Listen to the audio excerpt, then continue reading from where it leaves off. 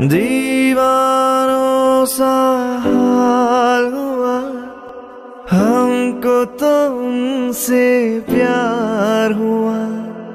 धीरे से वो पास आए।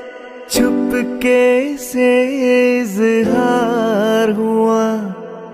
अब न किसी से डरना है। संग जीना